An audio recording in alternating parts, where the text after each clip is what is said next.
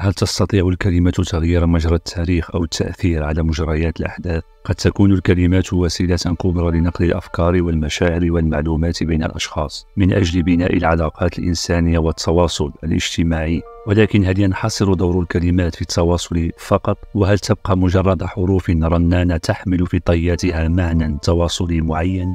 الجواب هو لا الكلمات يمكن أن تخرج من سياقها التواصلي إلى سياق تأثيري بامتياز بمعنى أن الكلمات قد تؤثر في اتخاذ قرارات حاسمة. على ضوئها تحدد مصائر أمم وترسم معالم التاريخ وتسطر استراتيجيات معقدة على المدى الطويل وتتخذ قرارات شخصية غير متوقعة. وقد حدث ذلك بالفعل ولا شك أنه سيحدث في المستقبل.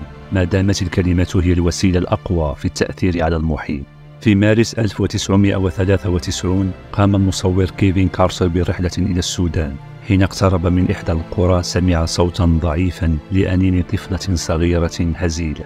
كانت الطفلة من شدة وهنها تزحف ولا تمشي توقفت عن الزحف لبرهة. وهي في طريقها إلى مركز لتوزيع الطعام فيما كان كيفن يتحضر لالتقاط بعض الصور حتى نسر ضخم بقربها. انتظر أكثر من عشرين دقيقة آملا أن يفرد النسر جناحيه من أجل أن يلتقط أفضل صورة ممكنة لكنه لم يفعل. كان النسر ينتظر موت الطفل لينقض عليها ويأكلها. حازت الصورة على عدة جوائز عالمية. وأصبح كيفن شخصية عالمية مشهورة في إحدى المقابلات التلفزيونية سأله صحفي وماذا عن البنت؟ أجاب كيفن مصدوما من السؤال الذي لم يتوقعه لم أنتظر لأعرف ما الذي حدث بعد ذلك للبنت. كنت مستعجل.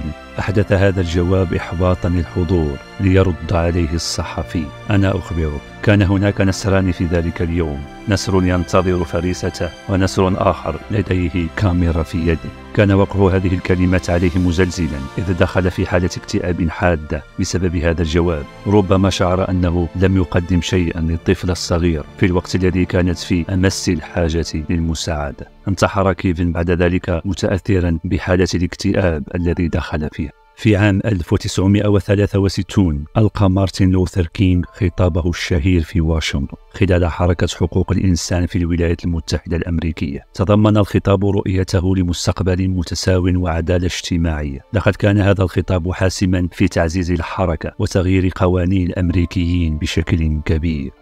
خطاب وينستون تشرشل الشهير خلال الحرب العالمية الثانية الذي ألقاه في يونيو 1940 حيث دعا فيه البريطانيين للصمود والتلاحم في وجه التهديد والاجتياح النازي. كان هذا الخطاب حاسما في تعزيز الروح المعنوية للبريطانيين للوقوف في وجه الاحتلال الألماني. في الثاني من فبراير 1990 ألقى فريدريك ديكليرك رئيس جنوب إفريقيا السابق خطابا تاريخيا. أعلن فيه إطلاق سراح عدد من السجناء السياسيين من بينهم نيلسون مانديلا. وأعلن فيه أيضا التصريح بقيام أحزاب تمثل الأغلبية السوداء في البلاد. قرارات تاريخية قادت صاحبها ديكليرك بمرافقة نيلسون مانديلا إلى الفوز بجائزة نوبل للسلام عام 1993 الخطاب التاريخي للملك الحسن الثاني الثاني الذي ألقاه في 5 نوفمبر 1975 بمدينة أكادير كإشارة لانطلاق المسيرة الخضراء نحو الصحراء. هذا الخطاب تفاعل معه الآلاف من المغاربة بشكل مهيب وشكل دافعا كبيرا للصغار والكبار من أجل المشاركة في المسيرة الخضراء. ومعتصما. تقول إحدى الروايات أن رجلا جاء إلى المعتصم يروي له حادثة شاهدها بنفسه فقال يا أمير المؤمنين كنت بعمورية فرأيت امرأة عربية في السوق مهيبة جليلة تسحل إلى السجن فصاحت في لافة ومعتصما ومعتصما. فأرسل المعتصم رسالة إلى أمير عمورية قائلا له من أمير المؤمنين إلى كلب الروم أخرج المرأة من السجن وإلا أتيتك بجيش بدايته عندك ونهايته عندي فلم يستجب الأمير الرومي. وانطلق المعتصم بجيشه ليستعد لمحاصرة عمورية فمضى إليها. فلما استعصت عليه قال اجعلوا النار في المجانيق وارموا الحصون رميا متتابعا ففعلوا فاستسلمت ودخل المعتصم عمورية فبحث عن المرء فلما حضرت قال لها هل أجابك المعتصم؟ قالت نعم هذه أمثلة عن قوة الكلمة ومدى قدرتها على تغيير معالم التاريخ والعالم. إذا أعجبك الفيديو لا تنسى الضغط على زر الإعجاب فهذا يحفزنا حتى يتوسع عالم البصير. سلام.